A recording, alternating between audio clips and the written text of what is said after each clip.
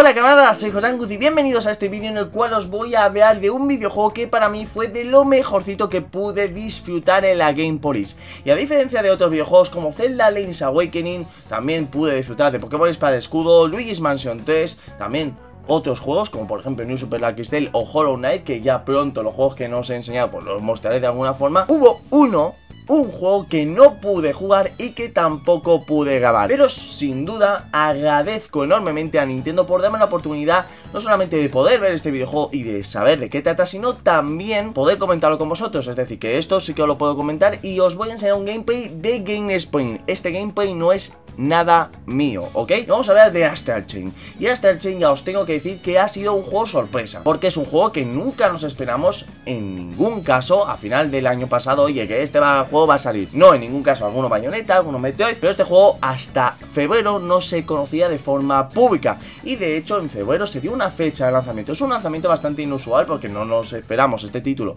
bajo ninguna circunstancia Desarrollado por Platinum Games en colaboración con Nintendo y también con supervisor de Higeki Kamiya que ya sabéis que es el desarrollador o también director de títulos como por ejemplo Resident Evil 2, Bayonetta y muchos otros más, ¿no? Este título fue una sorpresa y una sorpresa que nos revelaron una fecha, el 30 de agosto.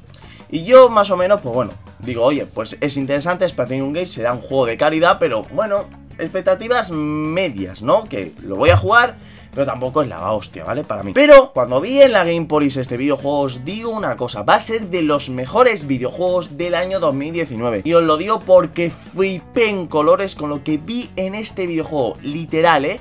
O sea, vamos a ver por partes de qué va el juego y por qué me ha impresionado, porque es mucha, mucha tela. Hasta tal punto de que me lo esperaba, pues eso, medio, ¿vale? De que, bueno, ni fu ni fa. Hasta tal punto que tengo mucho hype por este videojuego y tengo unas ganas enormes de enseñaros a vosotros por qué es tan bueno este juego, ¿ok? Antes de nada os voy a contar un poco de qué va el juego, ¿vale? Porque me estoy adelantando acontecimientos y tengo que contaros un poco de qué van, ¿vale? Nos encontramos en una sociedad adistópica, si no recuerdo mal es el término que nos comentaron, en el cual, pues bueno, bueno, estamos en una sociedad en la cual eh, está siendo atacada por quimeras, unas criaturas de otra dimensión que están apareciendo, pues bueno, ya averiguaremos por qué están apareciendo. Y a raíz de esto, pues hay unos policías que intentan salvar a la humanidad de, este ataque, ¿no? Aparte de los policías comunes y normales, también nos encontramos nosotros, que pertenecemos a una división de la policía en la cual controlamos a unas criaturas llamadas legiones, que están atadas a nuestra cadena. Y bueno, a raíz de investigaciones y de lucha y de pelear contra estas quimeras, pues intentamos salvar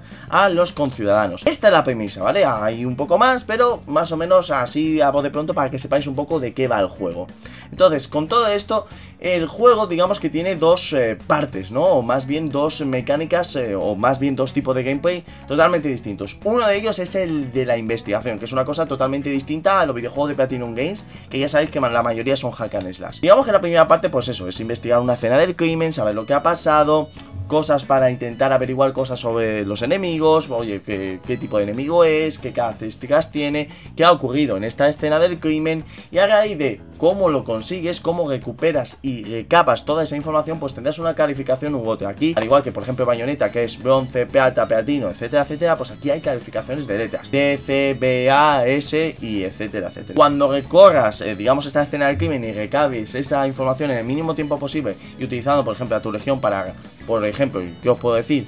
Pues escuchar conversaciones u otro tipo de mecánicas, pues poco a poco descubres lo que ha pasado. Y también esto se aplica al gameplay, digamos, de lucha, ¿no? Porque como no puede ser de otra forma, Platinum Games también hace aquí un hack and slash, ¿no? Así que esta parte es importante y también es eh, relevante para la calificación final del capítulo, porque juega por capítulos. La segunda parte del gameplay, que yo creo que es la que más gusta, es la del combate, la del hack and slash. Tengo que avisaros que la fluidez del combate no es un bayoneta ni siquiera es un Nier, es algo un poco más lento, pero que se mantiene, digamos, esa, ese gustillo Platinum Games. Es un gusto que a mí me ha gustado mucho y que me ha sorprendido gratamente. ¿Y por qué me ha sorprendido gratamente? Porque lo primero que he visto de este videojuego es los gráficos.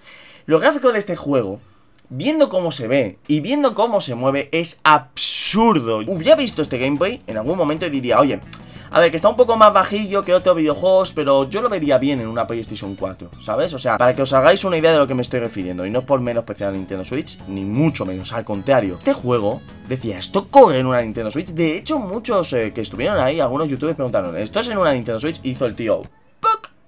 ¡puc! Y sacó y metió la Nintendo Switch. Eso corría en una Nintendo Switch y se veía espectacular. Partículas de luz, una cantidad de, digamos, de movimientos sin ninguna bajada de FPS, los efectos de luz en el suelo, lo, digamos, los escenarios, era muy, muy bruto. Y el estilo artístico era increíble. Realmente todos estábamos pensando, y sobre todo estábamos comentando con varios youtubers, entre ellos Behind the Games, de Symphony Versus, decíamos, ¿cómo coño es esto? O sea, es precioso, esto es una sacada de chorra, esto es impresionante. ¿Cómo corre este juego? Era brutal. Puedo decir la resolución y tal, pero yo lo veía en HD o 900p, no sé si 1080, pero lo veía muy, muy bien. Y en cuanto a gráficos, yo creo que era de lo mejor que habíamos visto. Y sinceramente, de todo lo que había jugado y de todo lo que había disfrutado, era lo más gráfico que había visto de todos los juegos. De todos, de todos, pero sin duda, ¿eh? De calle. Y era un pensamiento de cómo correr esto en una Nintendo Switch. El combate, para que os hagáis una idea, es una mezcla muy rara entre varios juegos de Platinum Games. Por ejemplo, mezcla cositas de Metal Gear Rising, sobre todo la animación de cuando corta con la espada. Este juego no lo he podido disfrutar, pero sí que lo he comentado con ciertos creadores que sí que han podido disfrutar de este juego. En cuanto a juegos que yo he manejado, pues a mí me ha recordado un poco a Nier Automata, sobre todo cuando usas el pod. El pod, pues bueno, ataca de forma automática y puede usarse para atacar a enemigos mientras tú te mueves, esquivas y todo ese tipo de cosas. Pues aquí también se usa de alguna forma automática tu legión, aunque también tienes una forma de manejarlo de forma manual. Pero sí que me ha recordado un poco a eso porque tiene ciertas cosas muy interesantes con la legión. Por ejemplo, si no recuerdo mal, también tiene una cierta árbol, de habilidades, ¿vale? Que puedes hacer pues bueno, para mejorarlo, para equiparlo y tal. Y creo, ¿vale? Esto no está confirmado, ¿vale? Porque no lo confirmaron, tampoco nos surgió, digamos, la pregunta. Creo que se pueden usar varios tipos de legión, ¿vale? Pero esto todavía, pues no lo sé, ¿no? Por ejemplo, las armas puedes cambiar entre una pistola, entre un espadón y una espada corta. Digamos que tiene un combate que, os aviso, no es una fluidez de bayoneta, no es una fluidez de Nier Automata,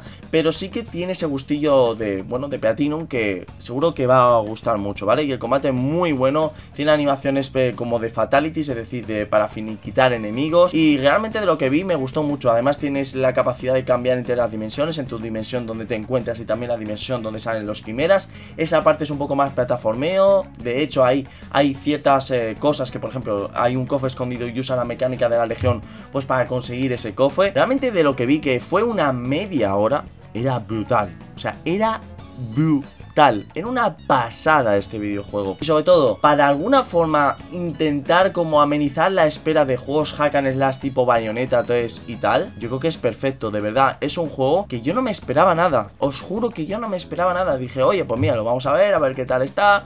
Me va a gustar.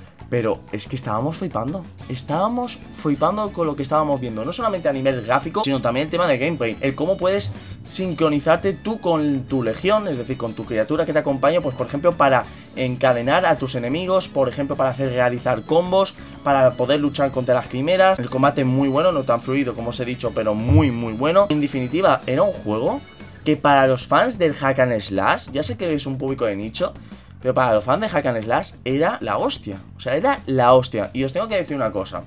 Este juego a lo mejor no va a vender mucho en agosto, ni en septiembre, ni en octubre. Eso es lo que yo creo, ¿vale? Porque está dirigido para un público específico. Espero que vendan mucho mejor de lo que estoy pensando, pero es lo que yo creo. Pero este juego va a ser como Bayonetta, en el sentido de que es un juego que en su momento no fue apreciado, pero en el futuro se va a apreciar. Porque este juego es algo que no vamos a ver mucho de vez en cuando. Yo creo que va a ser uno de los mejores títulos o el mejor título que va a traer Nintendo en exclusiva eh, para Nintendo Switch. Yo creo que sin duda es uno de los juegos más sorprendentes y que ojalá os hubiera podido grabar algo de este juego. Solamente tengo este gameplay que os he comentado. Realmente es que es una pasada. Realmente es una pasada. Tiene calificaciones, tiene los típicos botines que están por ahí desperdigados. El combate es muy bueno. Él tiene un árbol de habilidades con un toque, pues eso, RPG. En definitiva, mezcla muchas cosas de juegos de Platinum Games y lo hace una mezcla por lo que he visto, ojo, a lo mejor el juego al final malo, pero yo creo que no, de lo que he visto a mí me ha flipado, es la hostia. Además tienes habilidades, cuando mejoras, pues bueno, tienes ciertas habilidades, puedes correr más, puedes... Lo típico, ¿no? Que poco a poco, pues tu personaje también evoluciona. En definitiva, este juego es la hostia. Este videojuego es la hostia y de verdad...